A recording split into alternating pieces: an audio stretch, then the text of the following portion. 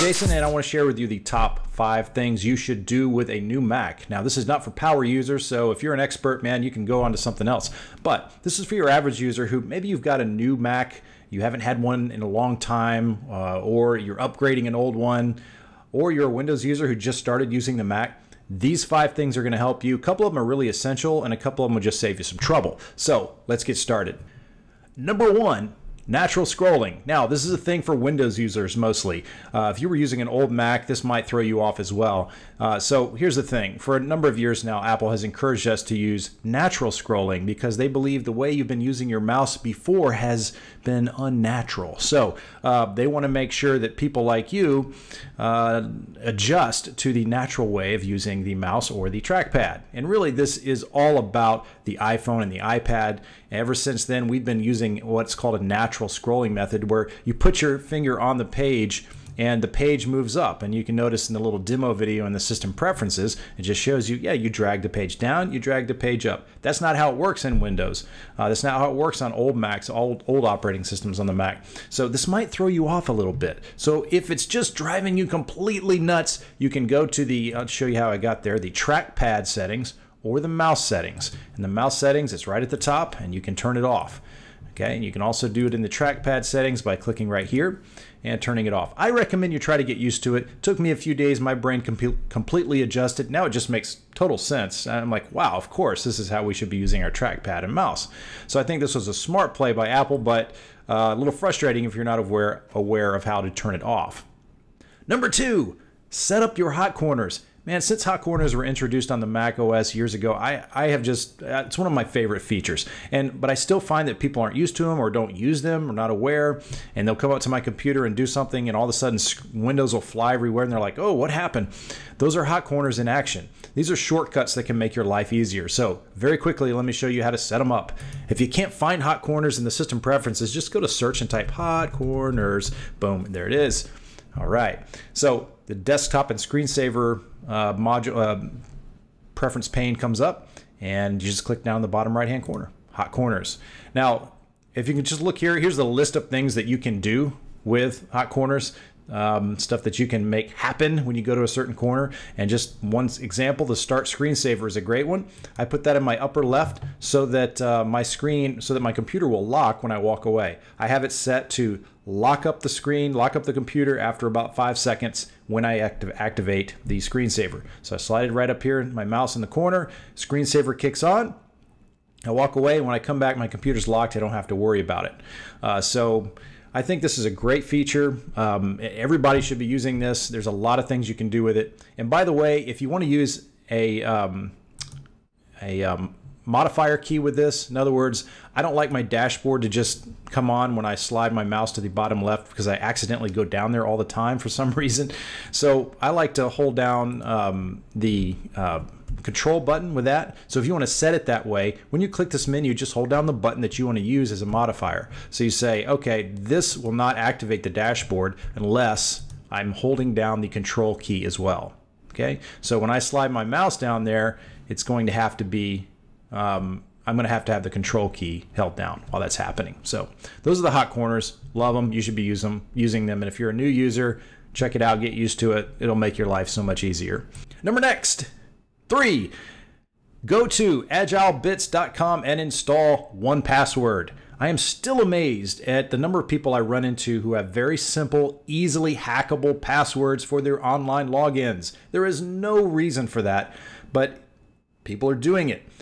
So you need a password app that can help you generate passwords and save them. Okay, 1Password is great software. I use it on my Mac, my iPad, my iPhone. And basically, when you open up 1Password, it's going to require one password that locks down all the rest of your passwords under encryption. So I'm going to type in my 1Password here. And it opens up. And what I have here is a list of all of my logins Okay, I can also put you know your debit cards and credit cards here. Got secure notes. Uh, and so on. Uh, but it's got all of your logins and you can find them very quickly. There are drop downs from the menu. There's drop downs in Safari for this. You can go up here and find your login and just hit it and it'll go right to the website and fill in the password for you and it will generate great passwords. So that's I'm not going to give a full demo of 1Password right now, but please go and download 1Password or an equivalent software to help you manage your passwords. In today's day and age, look, there's no excuse for having a simple password like Rover1, okay? Number four, choose and install a VPN app. Now, this one's going to be hard to make simple, but I'm going to try my best. Um, this is for MacBook users you are going out and you're going to be mobile at coffee shops, you're at the food court at the mall or at the airport or something, and anytime you're logging into free Wi Fi, you should not do so unless you are going through a VPN app. So basically, it's something you just turn on and say, hey, I want all of my traffic to go through this VPN server off somewhere else and it's all going to be encrypted and you don't have to worry about people snooping on the data that you're sending back and forth between your computer and perhaps your bank or something like that. It's protecting you from people seeing the information that you are sending over the web. So, um, this is specifically for laptops, um, but I use it at home as well. Um, there probably is no best VPN service out there. You could do some searching and find a number of different things.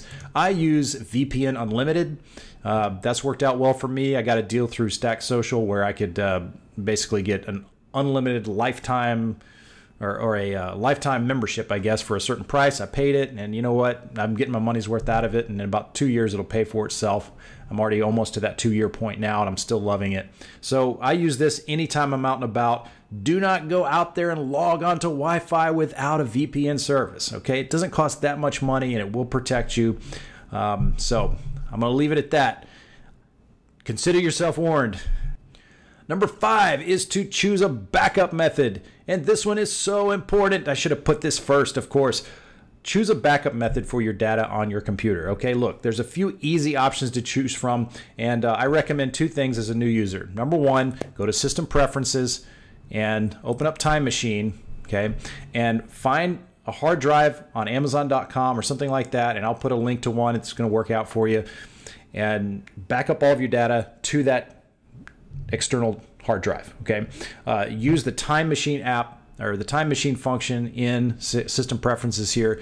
You just select the disk it's going to be on and hit go. Now I quit using Time Machine a while ago because I'm using some other other methods, but for an average user, I think this is a great option. Backs everything up, and if your computer dies, you just plug into the Time Machine drive, and boom, you have everything back the way it was. It's really easy. I highly recommend that. Okay. Um, the other option is to use, um, and, and you might as well do both, is do Backblaze or CrashPlan, one of these online backup services. It takes your backup data and says, hey, we're going to send it off somewhere else. So if your house burns down, don't you worry. We've got all your data right here on our encrypted servers. And uh, so they're behind a lot of firewalls and all this. Nobody can get to them. Um, so I love Backblaze. I've been using Backblaze for a few years, I think, and it's really worked out well. You can go on there and you can if, if you lose your data, you can sign in here and get all your data back. You can also uh, control it in system preferences. There's a preference pane here called Backblaze Backup.